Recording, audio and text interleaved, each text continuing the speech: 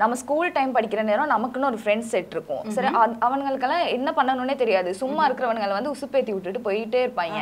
அவனுங்க என்ன பண்ணுவானுங்கன்னு அவனுங்களுக்கு கணக்கு இல்ல. நம்ம என்ன பண்ண போறோம்ன்றது அவனுங்களுக்கு கணக்கு இல்ல. அவனுங்க என்ன பண்ணிடுவானுங்க நாங்க கொஞ்சம் நல்லா பேச தொடங்கிடாது அது ஆஹா. சும்மா ஏதாச்சும் பேசணும்னா வந்து ஏய் நீ இதுக்கு ட்ரை பண்ணிடி. நீ நல்லா வருவ. அப்படின்றாங்க நாங்களும் அம்மா இதுதான் நம்ம ஃபீல்டு போலப்பா. அப்படின்னு நம்மளும் கங்கணம் கட்டிட்டு திரிவோம். தட்டி கொடுத்துருக்காங்க. ஆனா அவங்க தான் உண்மைக்குமே நான் இந்த இந்த அளவுக்கு நான் இவ்வளவு தூரம் இதுக்கான ஒரு எஃபர்ட் போட்டு நான் வாரத்துக்கு ரீசனே சீரியஸா அவங்க தான் ஏன்னா வந்து நான் ஒரு ஒரு காலகட்டத்துல நான் எனக்கு எது சரி வரும் எது சரி வராது அப்படின்ற ஒரு ஐடியாவிலே நான் இருக்கல. எது- எதுனாலும் பண்ணிட்டு போயிருவோம். அது இதுக்கப்புறம் டிகிரி ஒன்று எடுக்க சொல்லுவாங்க வீட்ல. அதை எடுத்துட்டு அதுக்கப்புறம் ஏதாச்சும் ஒரு கம்பெனியில வேலையை பார்த்துட்டு போயிருவோம் அப்படின்ற ஒரு மைண்ட் செட்ல தான் நானுமே இருந்தேன். பட் பட் என்னைய வந்து நிறைய இடத்துல எனக்கே தெரியாத நேரம் என் ஃப்ரெண்ட்ஸ் எல்லாருமே என்னை முன்னிறுத்துனாங்க. நீ போயிட்டு பேச உன்னோட வாய்ஸ் நல்லா இருக்கு நீ ஏன் பேசக்கூடாது? நீ இன்னும் கொஞ்சம் பேச. நீ பேசுற நேரம் நம்மலாம் நல்லா ஃபீல் பண்றோம் தானே? நீ ஏன் இதை கொஞ்சம் பப்ளிக்கா செய்யக்கூடாது? அப்படி இப்படின்னு என்னை உசுப்பேத்தி விட்டாங்க.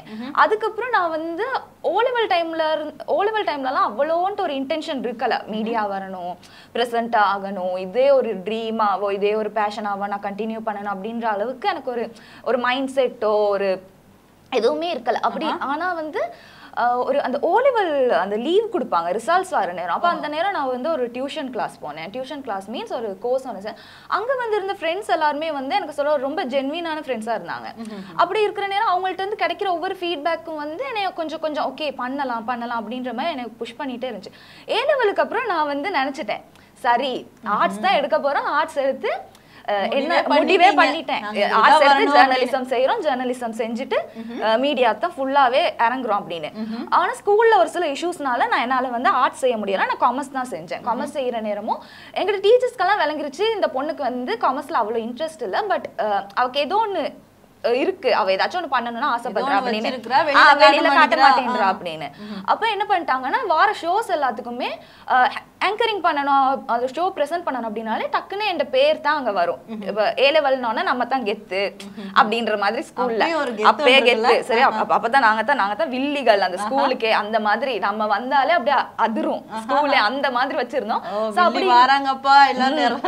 எல்லாம் எல்லாம் அப்படி இருங்க. இப்படி இப்படி எல்லாம் கையை கட்டிட்டு அப்படியே நிப்பாங்க. அப்படி அந்த மாதிரி. ஆனா அந்த ப்ரிஃபெக்ட் அப்படியெல்லாம் இல்ல. பட் ஆனாலும் வந்து என்னை ஓரளவுக்கு எல்லாருக்குமே தெரியும் ஸ்கூல்லயும் அப்ப என்ன பண்ணிட்டாங்கன்னா நிறைய அப்படி இப்படி ஃபோர்ஸ் பண்ணி ஃபோர்ஸ் பண்ணி செய் செய் செய் செய். ஏன்னா நானே இல்லடி வேணாம் அப்படின்னாலும் இல்ல நீ போ நீ போ. உன்னால முடிய முடியும் அப்படின்னு நான் ஒரு நான் ஸ்கூல்ல மட்டுமே ஒரு முக்காவாசி ஷோஸ் வந்து நான் நான் நானும் என் ஃப்ரெண்ட்ஸ் அப்படி இப்படி மாறி மாறி மாறி மாறி மாறி ஹோஸ்ட் பண்ணிக்கிட்டே இருந்தோம். அப்புறம் ஒரு டிராமா நடிச்சோம். அந்த நேரம் என்னன்னா பிக் பாஸ் வந்து ரொம்ப ஃபேமஸ் அப்படி ஸ்டார்டிங் வந்து. பிக் பாஸ் அப்படி ஒரு ஃபேமஸ் அதுல வந்து நான் ஒரு டிராமா ஒன்று பண்ணிட்டேன்.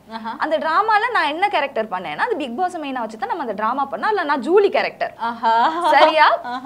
அது வந்து நான் வந்து அப்- நான் எனக்கு சும்மா சொன்னாங்க இப்படி செய்யுங்க. நானும் அந்த நேரம் அப்படி ஒரு என்ன சொல்றது பிக் பாஸ்னா அந்த ஒரு நாள் கூட விடாம அப்படியே உட்காந்து பாக்குற ஒரு ஆள்.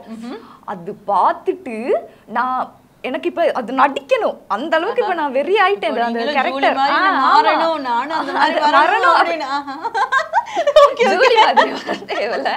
பட் நான் வந்து இப்ப அந்த கேரக்டரா இப்ப அந்த கேரக்டர் கொடுத்துட்டாங்கன்னா நான் அந்த ஆள் மாதிரி நடிக்கணும் இல்லையா.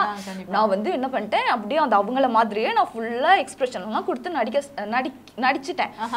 அங்க என்ன என் ஸ்கூல் ஃபுல்லாவே என் ஸ்கூல்ல இருந்த சீனியர்ஸ்ல இருந்து ஜூனியர்ஸ்ல இருந்து எல்லாருமே என்னைய ஜானுன்றத மறந்து ஜூலின்னு கூப்பிட ஆரம்பிச்சிட்டாங்க. இந்த ஜூலி போறாங்க அப்படின்னு இருப்பாங்களே? ஆ, ஆமா ஜூலி அக்கா நீங்க தானே அப்படின்ட்டு. அந்த அளவுக்கு நம்மளோட நடிப்பு நல்லா இருந்திருக்கு. அப்ப அதுக்கப்புறம் அப்படி அப்படியே ஒவ்வொரு வருஷமும் நான் எனக்கு தெரிஞ்சு நான் ஒரு கிரேட் சிக்ஸ்ல இருந்து ஒவ்வொரு வருஷமும் நான் வருஷத்துல ஒரு தடவை சரி ஸ்டேஜ் ஏறிடுவேன் டான்ஸுக்கா இருக்கட்டும் வில்லு பாட்டு. வில்லு பாட்டா இருக்கட்டும் டிராமாவா இருக்கட்டும் எதுனாலுமே ஸ்டேஜ் ஏறிடுறது. கூப்பிடுறாங்களா? பெட்டி படுக்கையெல்லாம் கட்டு நீ படிக்கவே தேவையில்ல இனி இப்போ ஸ்கூல் போறதே என்ன அந்த ஒரு மணிக்கு அப்புறம் நடக்கிற அந்த ப்ராக்டிஸுக்காக தான். அந்த அளவுக்கு வந்து அதுலயே போயாச்சு. ஆனாலும் படிச்சேன். ஓரளவுக்கு படிச்சு ரிசல்ட்ஸ் எல்லாம் எடுத்துட்டு இப்ப நான் திரும்ப செஞ்சுட்டு தான் இருக்கேன். பட் அதை நான் விடக்கூடாது அப்படின்றனால நான் வந்து அப்படியே கண்டினியூ பண்ணிட்டே போய்கிட்டு இருக்கேன்.